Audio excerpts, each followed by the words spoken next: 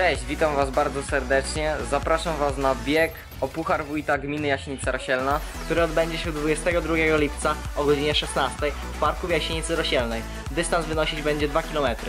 Zapraszamy was. Do zobaczenia. Do zobaczenia.